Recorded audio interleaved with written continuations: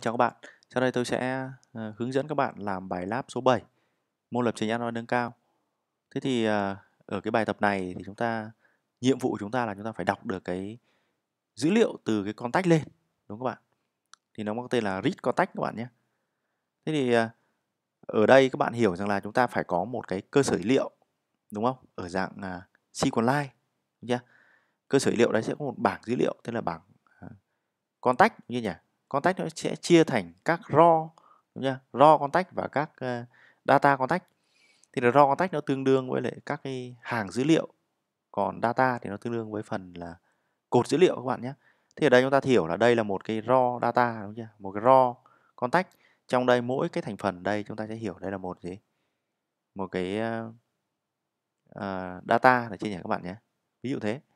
Thế thì đây là một cái dữ liệu mà uh, tôi đã nhập vào đúng không? Thì nhập vào thì nó nó sẽ đọc được. Nếu bạn? Nhập thêm thì nó sẽ đọc được nhiều hơn, đúng không? Ví dụ như là chúng ta vào cái phần phần à, phone này. Đúng không? Chúng ta truy cập vào phần contact xem. Tức là bây giờ bạn làm nào để bạn truy cập được vào cái phần à, phần contact là được là được, đúng không ạ? Đây, ví dụ như này, đây đâu có này, đúng không? Chúng ta mới có một danh bạ thôi. Nếu bạn thêm danh bạ vào, đúng không? Ta chạy lại chương trình chắc chắn là nó sẽ nó sẽ có thêm đúng các bạn? Đây thì đây cái phần này là cái phần có tách này. Đấy các bạn nhé.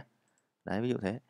Thế thì cái phần này là phần có tách thì à, tôi đã thêm vào. Thì bây giờ khi mà tôi chạy chương trình ấy cái chương trình của chúng ta nó tên là read contact được chưa nhỉ?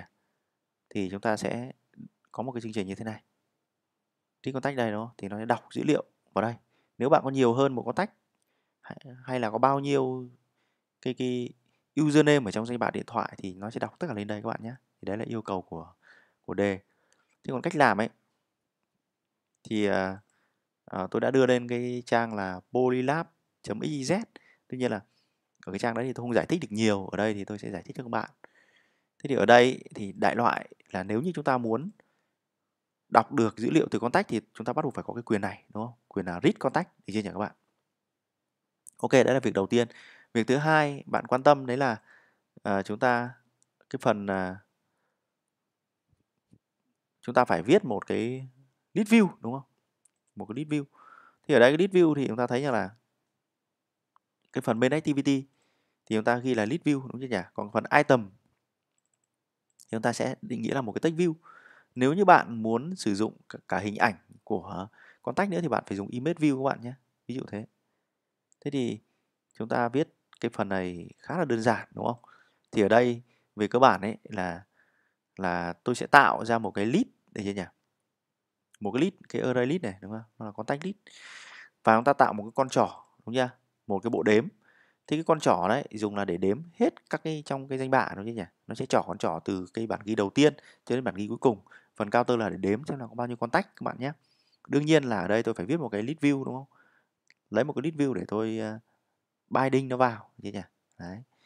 Ok thế thì ở đây chúng các bạn thấy rằng là ở đây cái hàm get contact tách nó à, nó như thế này đúng không? Đây là cái hàm get contact. Đấy. Thế cái hàm get contact thì nó làm gì? Thì cái toàn bộ chỗ này thì nó chỉ là cái phần khai báo biến này được chưa nhỉ? Đúng không? Cái phần này là phần đọc thread tức là chúng ta tách một thread nó đọc.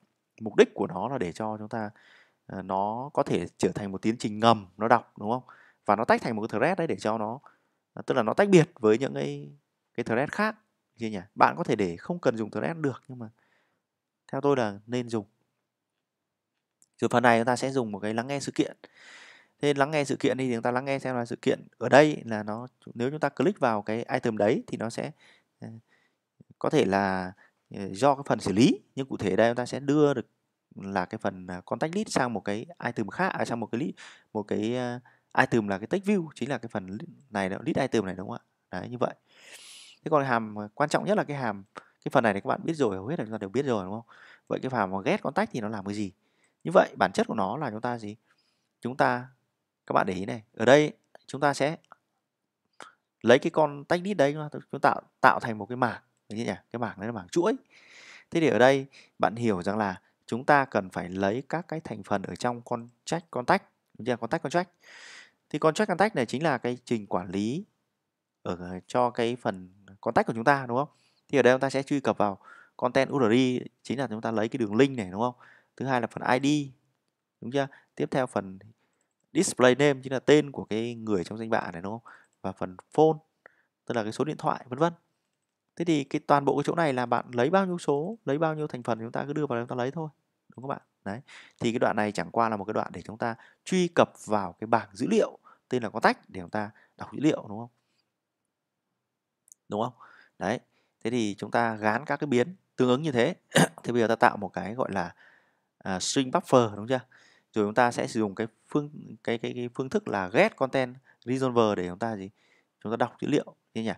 Đầu tiên chúng ta lấy con trỏ ta trỏ vào cái content resolver đúng chưa nhỉ? Đấy và chúng ta truyền các cái Ờ, tham số vào đây thì cái tham số đầu tiên chính là cái đường dẫn đến cái bảng dữ liệu đó đúng không?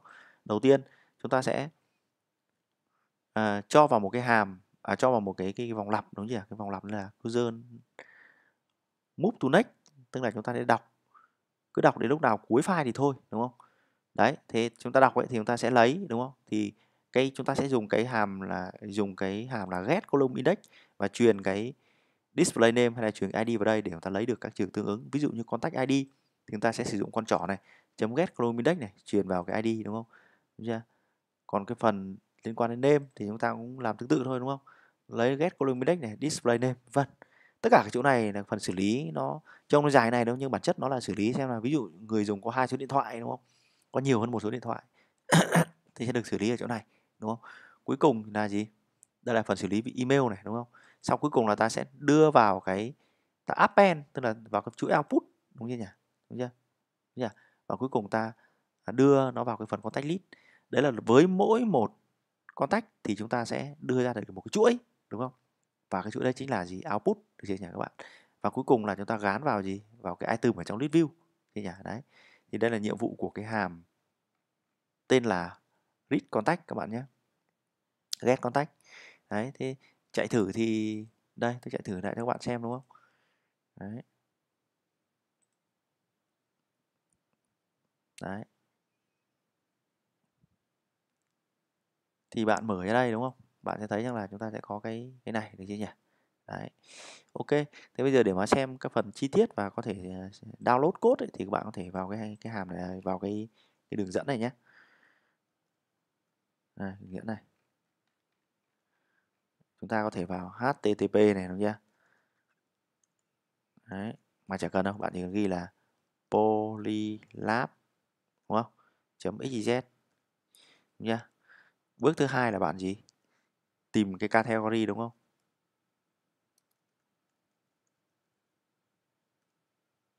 Tên là Android Studio.